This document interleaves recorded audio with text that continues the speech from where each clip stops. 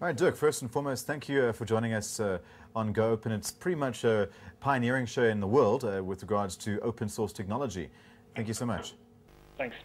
You don't need much of an introduction when it comes to the world of, uh, of techies and, you know, and people who are involved in the internet and computers. You're pretty much a legend to them. But to the average man of the street, why have you affected their lives so very much? Right. So, so basically, what we do is I belong to a to a group of people, and I mean there are over like a thousand in the Apache Software Foundation today.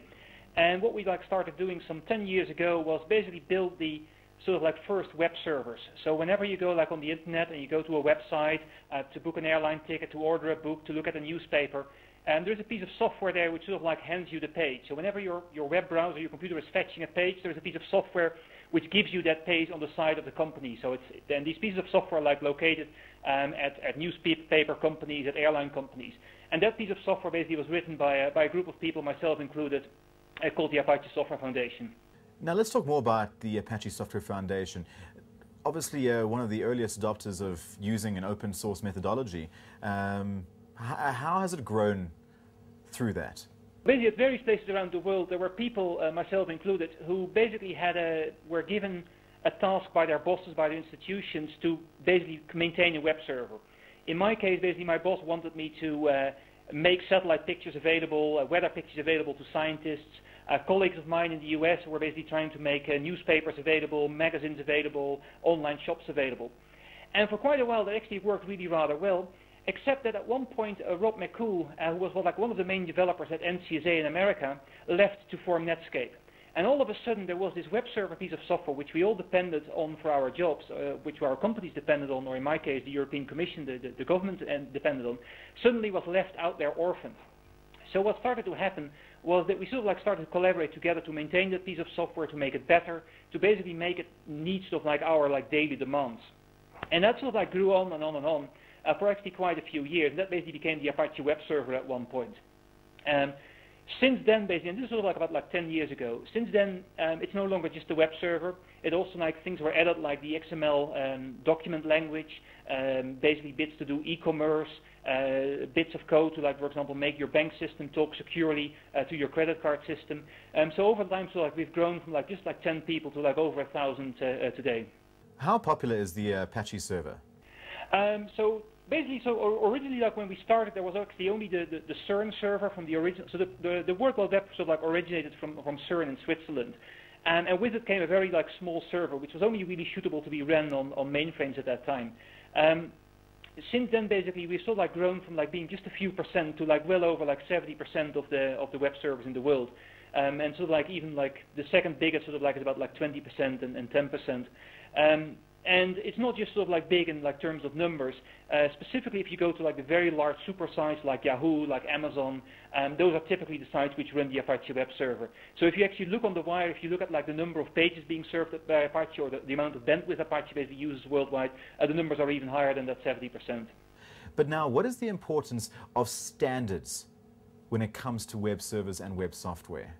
Well, so the, the reason basically we, we probably grew that large was not because we are sort of like the, the, the, very best or the fastest one or the most secure server, because there are other people sort of like like vying for that claim.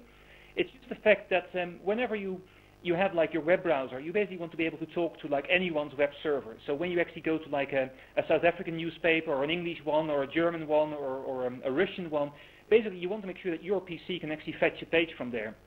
So it's kind of like vitally important that everyone in the world sort of like speaks the same language, sort of like uses the same way of actually sort of like sending that web page from their sort of like corporate server down to your PC at home. So what really happened here is that um, Apache just sort of like happened to be one of the most standards compliance uh, server. And in fact, what was really happening was that while the standards were being formed, we were writing the code. And as we write the code, we sort of like said to the people writing the standards, well, actually, that's not really implementable. Can you kind of like change the standard a little bit this way or that way? So we sort of like ended up being sort of like the sort of like Tower of Babel, or sort of the most neutral, uh, perhaps Esperanto of, of all those um, uh, servers.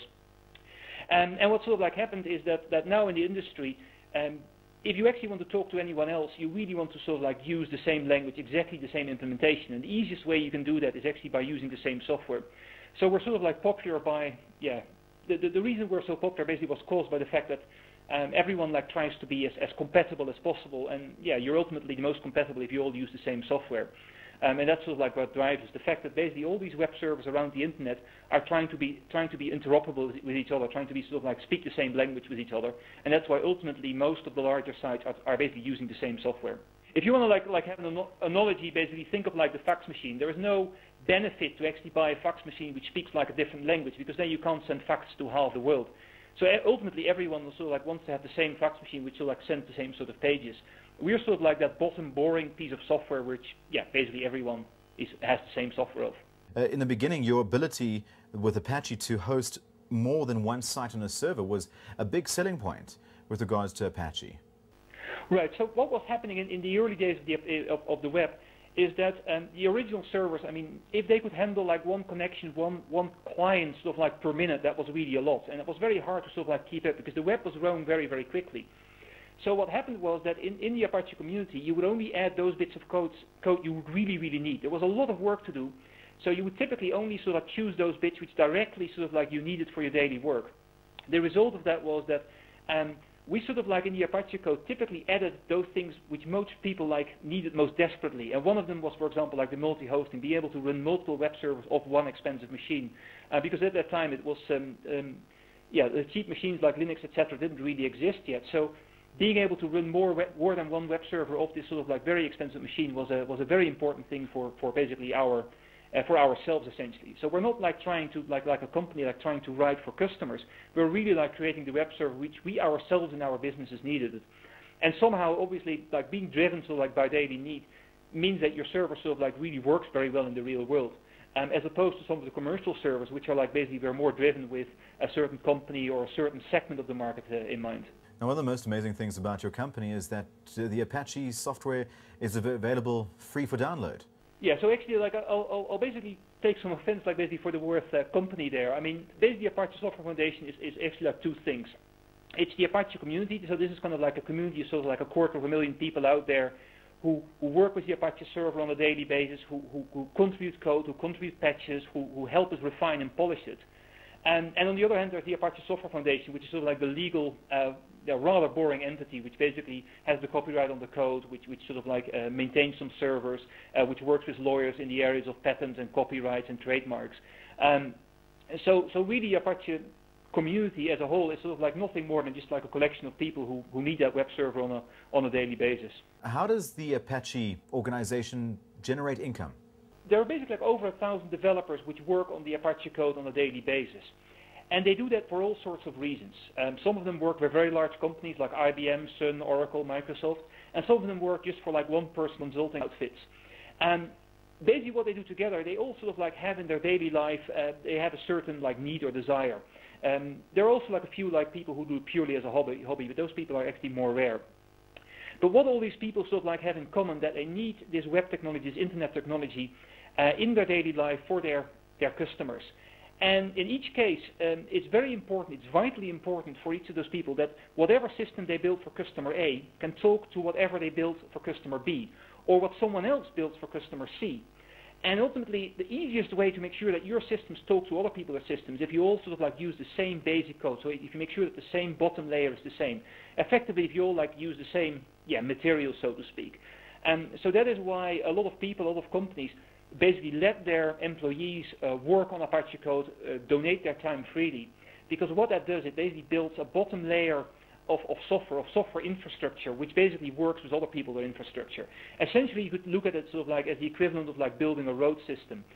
Not, I mean, big companies are not going to build their own road system. Ultimately, you just want to, connect to the, yeah, the world's road system. And that's what's happening in the software world as well we basically spend time to basically build systems which are so common that other people can use it as well, which means that the system we build for our customers will work with all our customers as well. So basically our customers get a system which they can use to talk to their bank, to their insurance company, to their travel agents, and not, you don't sort of like get a balkanized world. You basically get like one world which, well, well one interconnected world, one internet.